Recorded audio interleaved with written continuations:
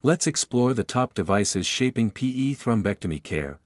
Types of catheter-based devices for PE include mechanical thrombectomy, which physically removes clot from the pulmonary arteries, catheter-directed thrombolysis, which delivers thrombolytics directly into the clot to accelerate breakdown, and pharmacomechanical approaches that combine clot disruption with active removal.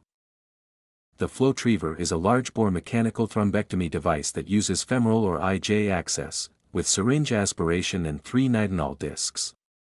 The Indigo system offers simple aspiration without an over-the-wire setup and has a growing evidence base.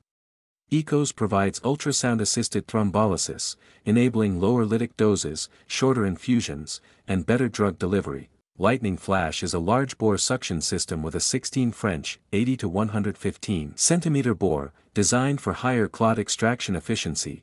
AlphaVac is the newest aspiration system, FDA approved for venous thrombus, with expanding use in PE.